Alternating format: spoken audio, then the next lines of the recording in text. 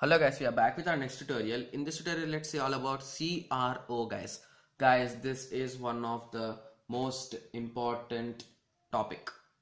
So basically CRO, cathode ray oscilloscope.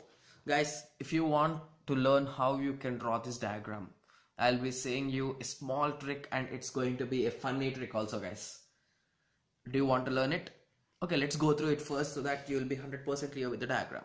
So basically first I hope everyone knows the torchlight, right? So just draw a torchlight so that you're gonna get the outer structure. Done?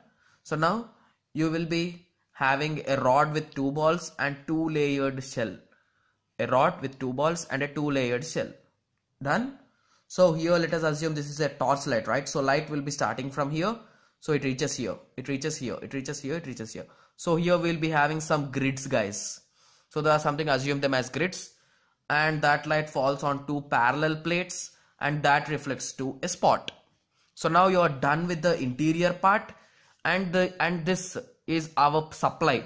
So here too we're gonna give it to higher voltage supply so that we're gonna get from here we're gonna get ground and we'll be having three resistors to don't allow a lot and lots of current.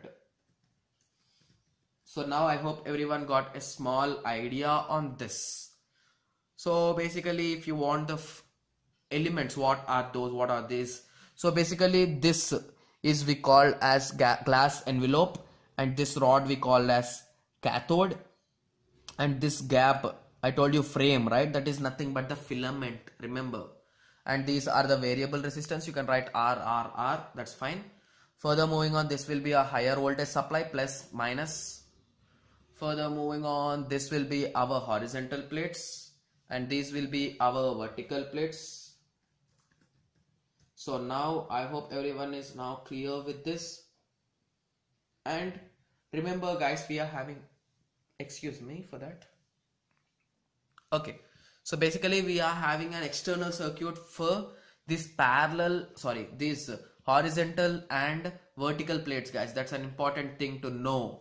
So here we are having these two and these three. So i have just written the names right here guys. So one is nothing but for from vertical we will be having for both vertical guys. One is the vertical attenuator and vertical amplifier. So i hope everyone did an experiment at least on cro guys. Basically we done oscillators on cro and there are few more experiments in our first semester and second semester also. So basically i hope everyone knows about cro so if the given graph is like this so if it is appearing on this whole grid this will be our display. So if it is appearing down here to change it vertically we use those vertical knobs. And to change it horizontally we gonna use it horizontal knobs. So horizontal means it will be moving along x-axis and vertical means it, it will be moving along y-axis. Okay? So vertical attenuator vertical amplifier are used for movement here 1 and 2 and 2 3 4 5 will be the synchronizer, sawtooth generator and horizontal amplifier. So these are the three things. So now I hope everyone is 100% clear guys. I have explained everything of this.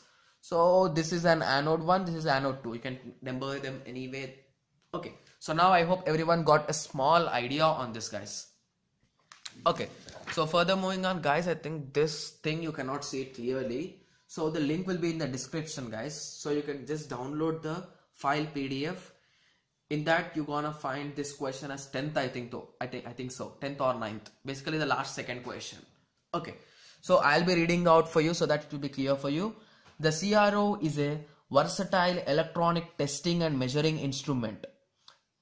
Okay. So this cro is a testing device guys. Okay. So it is displayed as a function of time so the graph will be something like this with voltage with respect to time guys. The graph will be something like that.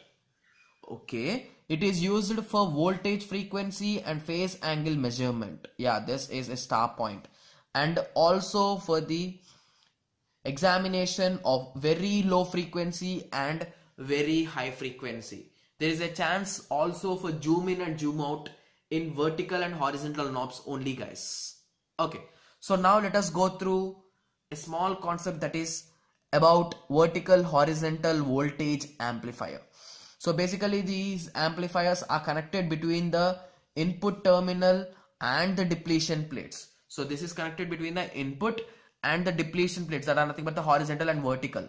So the function of the amplifier is to increase the deflection sensitivity of the weak voltage.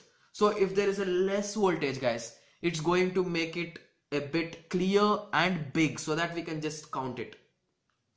Okay, so let us go through the power supply. So basically if you have just observed the diagram carefully, I have wrote that high power supply. So now let us go through why we need high power supply.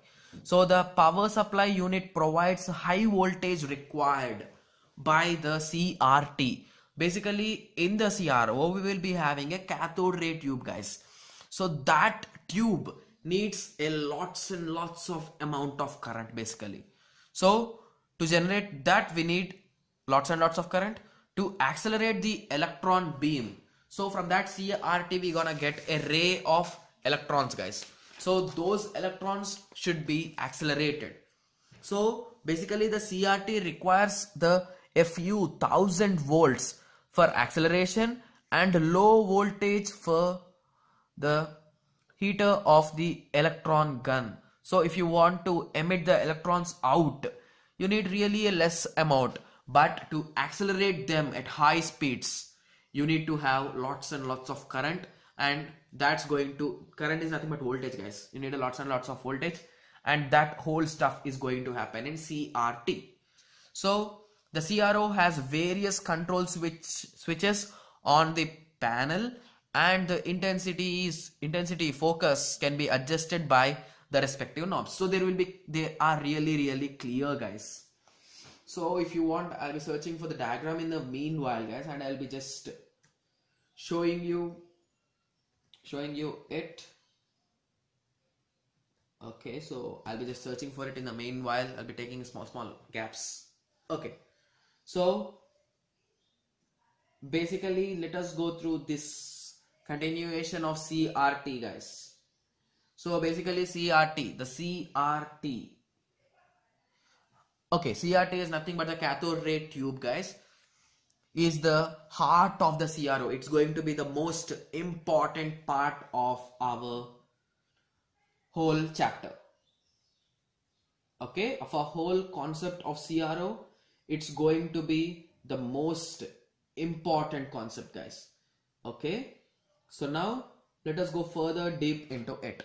So CRT is the heart of the CRO. It is a vacuum tube of special geometrical shape. That is nothing but a cylinder some kind of cylinder shape guys and converts an electrical signal into visual signal visual signal is nothing but in terms of a wave that's it so the heated cathode okay the cathode is directly in contact with it guys so the heated cathode. Okay. Okay just give me a second guys. Okay. Okay the heated cathode emits the electrons. So the cathode mainly emits the electrons which are accelerated to very high velocity by this CRT okay guys so now I hope everyone got a small idea on CRT right guys? So I hope everyone got a small idea. So now let us go further deep into this topic okay so basically let us go further in glass envelope and screen. So basically the glass envelope is nothing but the outer shell of the CRO guys.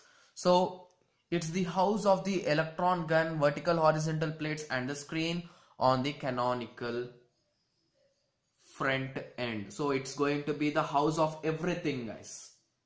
Okay.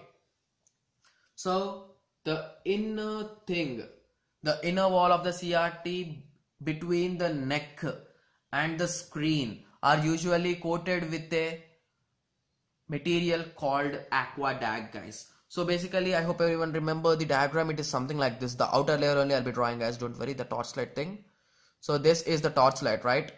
So basically this places it is coated with a material called aquadag so when we focus this we will be focusing right here.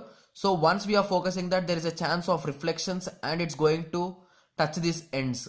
So as it is coated with aquadag it's going to get reflected again. It's, it's going to be back in its positions. So that's how this works guys.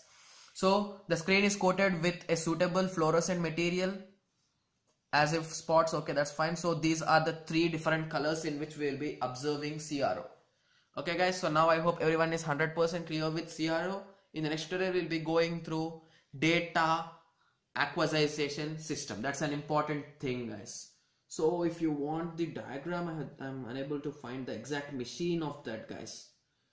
If you give me in the next in the, the conclusion tutorial of this chapter I'll be somehow managing to find it and I'll be showing it to you guys. Don't worry. Thank you. Thanks for watching